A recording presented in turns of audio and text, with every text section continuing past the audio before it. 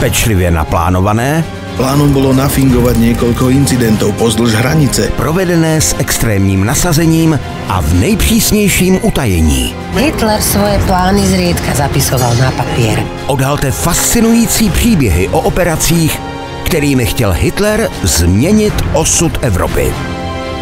Hitlerovi tajné operace. V pátek večer na CS History.